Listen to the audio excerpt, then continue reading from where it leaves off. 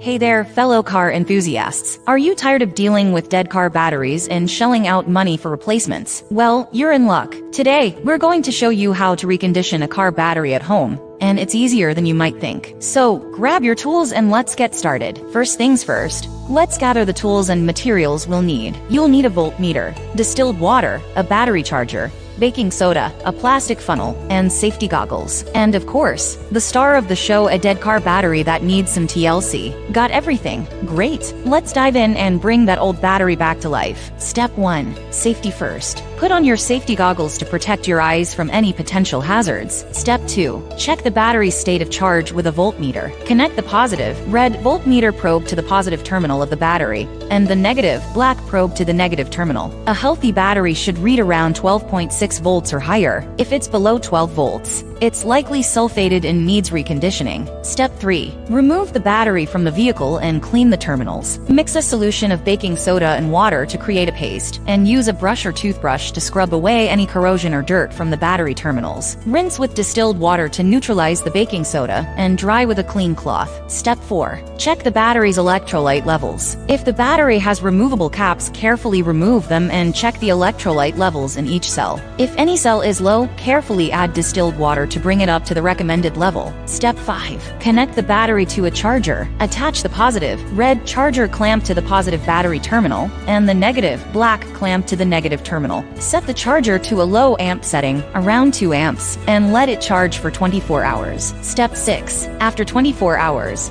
disconnect the charger and let the battery rest for a few hours. Then, recheck the battery's state of charge with the voltmeter. If the voltage has increased, it's a good sign that the reconditioning process is working. Step 7. If the voltage hasn't increased significantly, you can try desulfation. This process involves adding a desulfator to the battery to dissolve the sulfate crystals that can build up on the battery plates over time. Follow the manufacturer's instructions for the specific desulfator you're using. Step 8. Repeat the charging and resting process until the battery reaches a voltage of at least 12.6 volts or higher. This may take a few cycles, so be patient and monitor the progress with your voltmeter. Step 9. Once the battery has reached the desired voltage, it's time to load test it. This will help determine if the battery is capable of holding a charge and delivering enough power. Connect a load tester to the battery and apply a load for 15 seconds. If the voltage drops significantly, it's a sign that the battery may still have some issues and may not be suitable for reconditioning. Step 10. If the battery passes the load test, congratulations! You've successfully reconditioned your car battery. Now, you can reinstall it in your vehicle and enjoy the savings of not having to purchase a new battery. And there you have it, folks. With a few simple tools and materials, some patience, and the right techniques,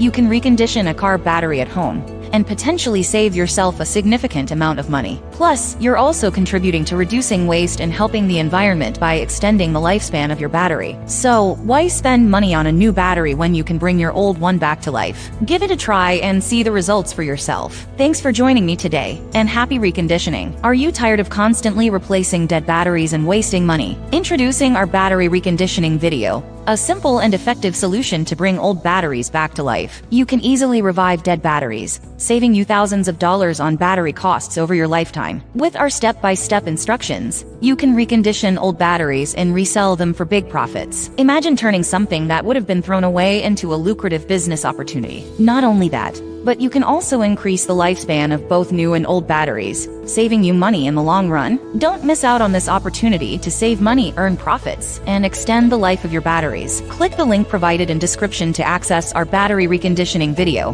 and start reviving your dead batteries today. Thank you for watching our video. If you found this video helpful, please like and subscribe for more health and wellness content. If you have any questions or comments, please leave them below.